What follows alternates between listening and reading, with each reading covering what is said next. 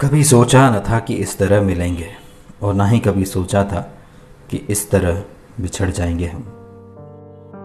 ना तो आसिम ने और ना ही सिद्धार्थ शुक्ला या उसके परिवार ने कभी ये सोचा होगा कि सिड सिम की रीयूनियन होगी तो इस तरह से होगी कि ठीक से मिल भी नहीं पाएँगे और हमेशा के लिए एक दूसरे से जुदा हो जाएँगे। तो ये जो रीयूनियन हुई ना कल सिड सिम की, ये काफ़ी इमोशनल थी। वो आसिम जिसको चुसलेट बोला गया, वो आसिम जिसके मरने तक की दुआएँ मांगी गई सिद्धार्थ शुक्ला के फैंस के द्वारा, वही आसिम सबसे पहले सिद्धार्थ शुक्ला के परिवार पर इस संकट की जो घड़ी आई है, सबसे पहले खड़ा हो गया और एक शोल्डर उसने दिया। ना सिर्फ़ शोल्डर दिया, बल्कि एक भाई के नाते जो कर्तव्य होते हैं, जो ज़िम्मेदारी होती है, सबको भाग भाग कर पूरा कर रहा है। ये जो तस्वीरें आई हैं, उससे एक चीज़ तो साबित हो चुकी है कि आपकी ज़िंदगी में अगर कोई दोस्त हो तो वो आसिम रियाज चौधरी के जैसा हो, ना कि बिंदु दारा सिंह के जैसा, जो आपके नाम से, आपके कद से, आपकी जो पर्सनैलिटी है और आपका जो मुकाम है, उसको इनकैश करने के लिए भर भर के पैसे बनाए आपके नाम से। लेकिन जब आपका परिवार संकट में है, मुसीबत में है तो वो अपनी अलग ही कहीं शूटिंग की दुनिया में या किसी और रीजन से बाहर रह जाए, यहाँ पर आप देख लीजिए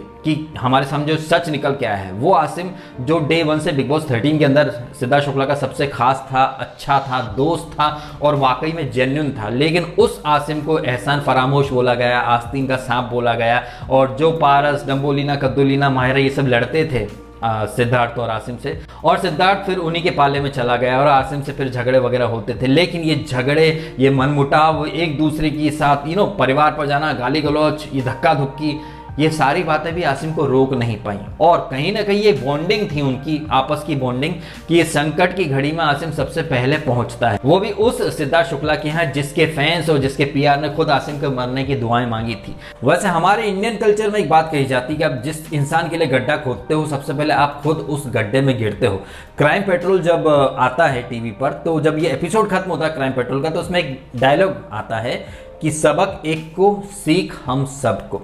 यहाँ सीखने के लिए बहुत सारी चीज़ें साहब। ज़्यादा मैं डिटेल में जाना नहीं चाहूँगा वीडियो में छोटा ही रखना चाहता हूँ, क्योंकि बात निकलेगी तो बड़ी दूर तक जाएगी, जहाँ तक मैं जाना चाहता नहीं, क्योंकि मौका और दस्तूर अभी वाजिब नहीं है उन तमाम बातों के लिए। बस एक ही बात कहना चाहूँगा कि बाहर जो पीआर बैठ जाते हैं बिग बॉस के हर सीज़न में, जो एक अच्छे इंसान को रियल इंसान को चुसलेट बोलकर नफरत भर देते हैं लोगों के दिमाग के अंदर, जहर भर देते हैं। आज मैं देख रहा हूँ कि सिद्धार्थ शुक्ला के बहुत सारे फैंस आकर मुझे ज्ञान दे रहे हैं कि तो अपने वीडियो डिलीट कर, ये डिलीट कर। कभी किसी ने उस ठुल्ले टॉय को बोला जिसने आसिम की लाइफ स्ट्रगल का, उसके गाने का, हर चीज़ का रोस्ट किया, मज़ाक बनाया? आप खुद देख लीजिए, वो सिद्धार्थ शुक्ला के फ़ैन जो आज आकर इंसानियत की दुहाई मुझे दे रहे हैं, इंसानियत का पाठ मुझे पढ़ा रहे हैं, उन तमाम सिद्धार्थ शुक्ला फैंस ने इस गर्दुल्ले बिंदु दारा सिंह के उस बात को ट्वीट कर, आप देख लीजिए कितने लाइक हैं, कितने रीट्वीट हैं।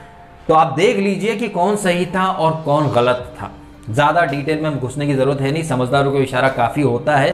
जो मैं कहना चाह रहा हूँ, आप बड़े ही लाउड एंड क्लियर तरीके से समझ जाएँगे। आई होप सब समझदार लोग हैं। इतना बेवकूफ़ कोई नहीं है। जो बेवकूफ़ हैं, उन लोगों ने बिंदु दारा सिंह की उस बात को सपोर्ट करा था रीट्वीट करे थे आरटी करे थे। लेकिन आज देख लीजिए।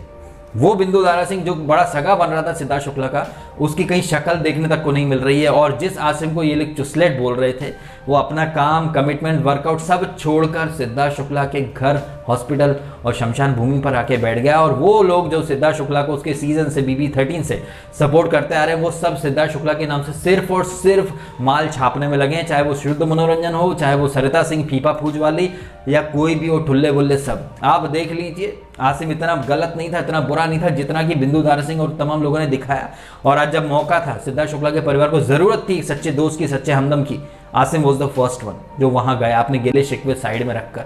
और उसके पोस्ट देखें, उसकी इंस्टाग्राम स्टोरीज या ट्वीट बंदा दुख से, दर्द से भरा हुआ है।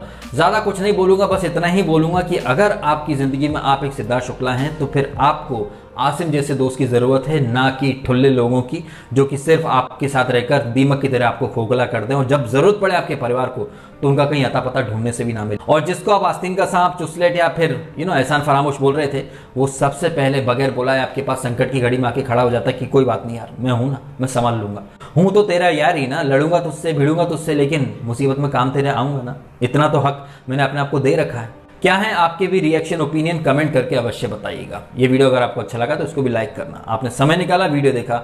आपका बहुत बहुत धन्यवाद।